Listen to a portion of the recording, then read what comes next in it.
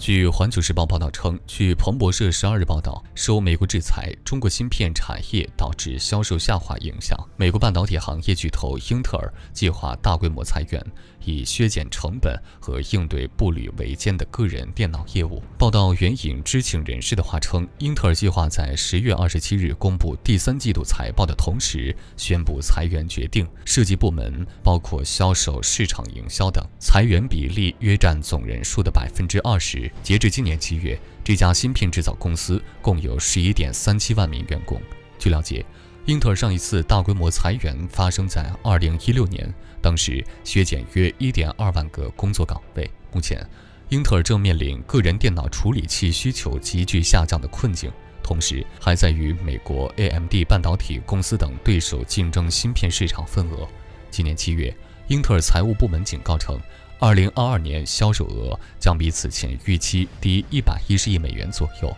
分析师预计该公司第三季度收入将下降约百分之十五。彭博社智库分析师马尔蒂普辛格表示，英特尔此次裁员有望降低百分之十至百分之十五的固定成本，为公司节约二百五十亿至三百亿美元。彭博社称，英特尔失去长期来的技术优势，其高管也承认。公司的创新文化近年来枯萎，在全球经济下行的背景下，英特尔个人电脑数据中心和人工智能部门拖累公司营收。全球知名 IT 市场研究机构 IDC 的数据显示，第三季度全球个人电脑销量较去年同期下滑百分之十五。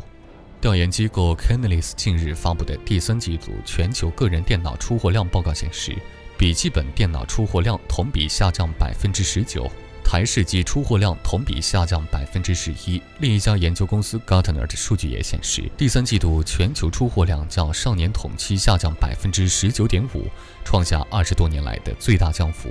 处于上游的芯片厂商自然也受牵连。近几年，英特尔一直试图通过发布新的个人电脑处理器和显卡芯片来重新占领市场。彭博社认为，英特尔现在正寻求通过精简公司来实现目标。彭博社称，除了全球需求疲软，美中之间的紧张关系也给芯片行业发展蒙上阴影。尤其是美国拜登政府此前宣布的对华半导体出口限制措施，反噬美国科技企业，让半导体制造商的销售承压。新限制措施发布当天，英特尔股价下跌百分之五点四。今年，英特尔股价下跌已超过百分之五十，仅九月就暴跌百分之二十。